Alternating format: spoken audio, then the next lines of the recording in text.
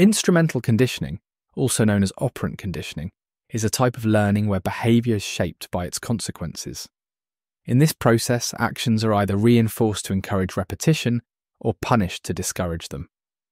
Positive reinforcement involves providing a reward for desired behaviour, while negative reinforcement removes something unpleasant to increase the likelihood of the behaviour happening again. Punishment, on the other hand, either adds an unpleasant consequence or removes a positive one to reduce undesired behaviour. Instrumental conditioning plays a crucial role in teaching new skills, shaping habits, and influencing choices in both humans and animals. Instrumental conditioning was developed by B.F. Skinner, a psychologist who conducted experiments to study how behaviour could be modified by consequences. Skinner built on earlier work by Edward Thorndike, who discovered the law of effect, which states that actions followed by satisfying outcomes are more likely to be repeated. Skinner's experiments with animals, such as rats in a Skinner box, demonstrated how rewards like food could be used to teach specific behaviours. For example, rats learned to press a lever to receive food, showing how reinforcement could influence behaviour. Skinner's research laid the foundation for understanding how rewards and punishments shape actions.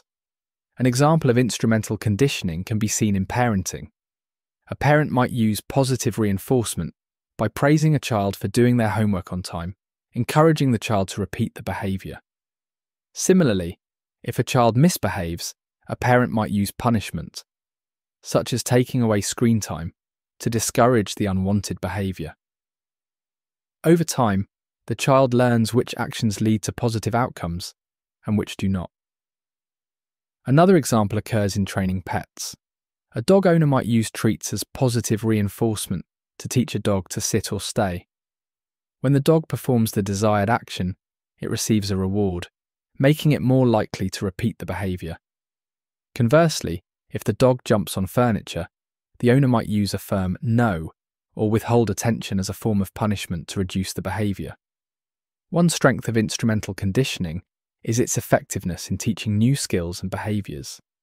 By providing immediate consequences, whether rewards or punishments, it creates a clear connection between actions and outcomes. This makes it easier for individuals or animals to learn what is expected of them for example, positive reinforcement is widely used in classrooms to encourage participation and good behaviour among students. Another strength is its ability to produce long lasting changes in behaviour. When used consistently, reinforcement and punishment can help establish habits that persist over time. For instance, rewarding employees for meeting goals can create a workplace culture of productivity and motivation. This practical application makes instrumental conditioning a valuable tool in education, parenting, and management. A weakness of instrumental conditioning is that it can sometimes create dependence on rewards.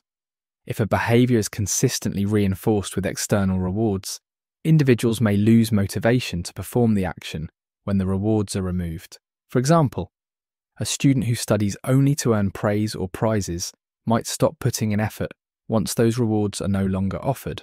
Another weakness is the potential for misuse or overuse of punishment.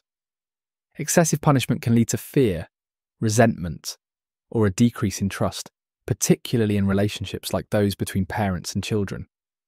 For instance, a child who is punished harshly for making mistakes might become anxious or less willing to try new things. Balancing reinforcement and punishment is essential to avoid negative emotional effects. An alternative to instrumental conditioning is intrinsic motivation, which focuses on encouraging behaviours driven by internal satisfaction rather than external consequences. Instead of using rewards or punishments, this approach emphasises helping individuals find personal meaning or enjoyment in their actions.